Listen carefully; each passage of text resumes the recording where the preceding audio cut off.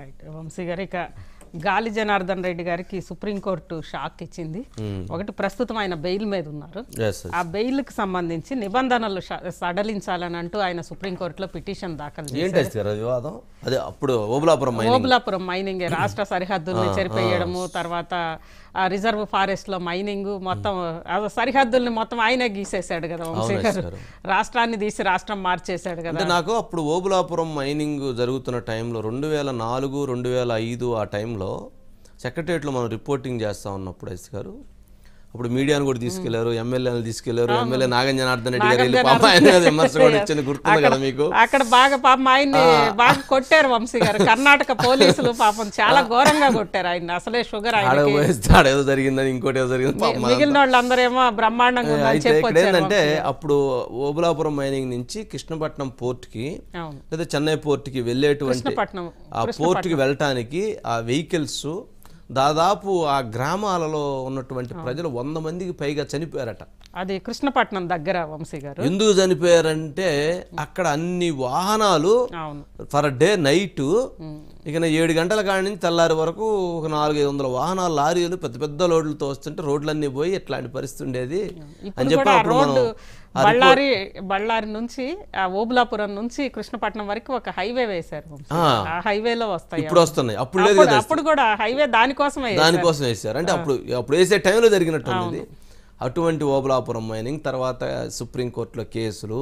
సరే వారికి సంబంధించి వారు ఎంత సంపాదించారు అనేటువంటిది కూడా చెప్పాం కదా ఆయనే బంగారపు సింహాసనం ఆయన కూర్చునే కుర్చీ బంగారు సింహాసనం. ఆయన తినేటువంటి పళ్ళెం బంగారు సింహాసనం. ఆయన గ్లాసు తాగేటువంటి గ్లాసు బంగారు సింహ బంగారపు గ్లాసు. ఇలా చూస్తే అసలు మొత్తం ఇంట్లో బయట ఆ, బంగారంతో ఆయన వీటన్నిటిని మించి వంశీ గారు. జైల్లో ఉన్నాక మొత్తం ఎక్కడికక్కడ అంతా సీజ్ చేసి దేశవ్యాప్తంగా ఈ స్కామ్ ఓబులాపురం అని అనేది ఒక పెద్ద చర్చ వచ్చిన తర్వాత అందరి తలదన్నేలాగా పెళ్ళి చేశాడు. పెళ్ళి చేశాడు. పాపది వాళ్ళ పెళ్ళి బయటకు వచ్చేసి మళ్ళీ అయితే ఇప్పుడు కూడా సుప్రీంకోర్టులో ఇచ్చినటువంటి అంశం ఏంటంటే. ఆయనకు సంబంధించినటువంటి కేసుని ఆరు నెలల్లో ప్రత్యేక కోర్టుని ఏర్పాటు చేసి ట్రయల్ రన్ రోజువారీ విచారణ చేసి దాన్ని కంప్లీట్ చేయమని చెప్పారు. అంటే ఇప్పటికి దాదాపు రెండు వేల నాలుగు నుంచి ఇప్పటికి అది ఒక కంక్లూషన్కి వచ్చినటువంటి పరిస్థితి. దీంట్లో ఆయన్ని బళ్ళారి కానీ లేక ఆంధ్రప్రదేశ్ కానీ కర్ణాటక కానీ అనంతపురం కానీ కడప కానీ వెళ్ళొద్దు అని చెప్పని సుప్రీంకోర్టు తీవ్రమైనటువంటి ఆంక్షలను పెట్టింది. అంటే ఏంటి? అంటే ఆయన అక్కడికి వస్తే అంత ప్రభావం జరిగిద్ది అనేటువంటి ఇది. ఆయన ఇప్పటికే చేయాల్సిందంతా చేసేసారు జరపాల్సిందంతా జరిపేశారు. కాకపోతే మహా అయితే ఇంతకుముందు గతంలో రెండు సంవత్సరాలే ఉన్నట్లుండారు లోపల. మహా అయితే ఇంకో రెండేళ్ళు ఉంటారు. కానీ దాదాపు ఆ రోజుల్లోనే దాని విలువ అరవై వేల కోట్లు డెబ్బై వేల కోట్లు అని చెప్పని చెప్తున్నారు. అరవై వేల వేల కోట్లు డెబ్బై వేల కోట్లు అని చెప్తూ ఉన్నారు ఎస్ గారు.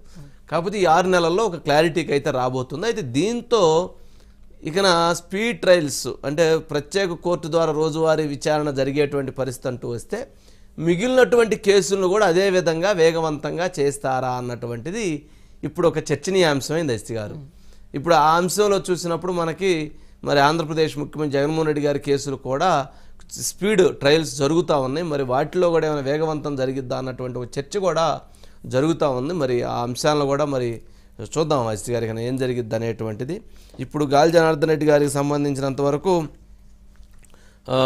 కూతురు డెలివరీ అయిందంట మొన్న డెలివరీ అయిన కేసులో ఇది సుప్రీంకోర్టు డెలివరీ బళ్ళారిలో ఉంది నా కూతురు. కూతురికి పాప పుట్టింది. చూడడం కోసం బెయిల్ నిబంధనలు సడలించండి అన్నారు కాదు వెళ్ళాడు. అప్పటికి వెళ్ళాడు ఈయన సడలించమని అడగల. వెళ్ళాడు పాపకి డెలివరీ అయింది కాబట్టి చుట్టం కోసం వెళ్ళా అన్నారు. నువ్వు ఎట్లా నిబంధనలు అతిక్రమిస్తావు అంటారు. సుప్రీ సిబిఐ ఏం చెప్పింది? అసలు బళ్ళారులో లేదు వాళ్ళ పాప ఆ పాప ఉంది. బెంగళూరులో ఉందని చెప్పి వాళ్ళు. ఇంకొక ఎవిడెన్స్ పెట్టారు. సరే ఇక ఇప్పుడు ఎక్కడ ఆర్గ్యుమెంట్స్ వాళ్ళు కూడా పాపం ఇక ఆ స్థాయిని తట్టుకోలేక మొత్తానికి అసలు దీని స్పీడ్ విచారణ కొనసాగించండి అని చెప్పని చెప్పారు. సరే ఇందుట్లో ఏది ఇది స్పీడీ ట్రయల్ గనక జరిగిందంటే.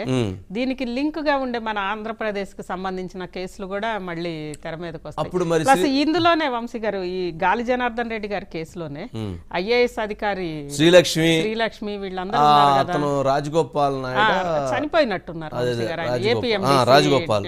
రాజగోపాల్. చనిపోయారు. డైరెక్టర్గా చనిపోయారు మాకు కరెక్ట్ గుర్తులేదు జరిగింది.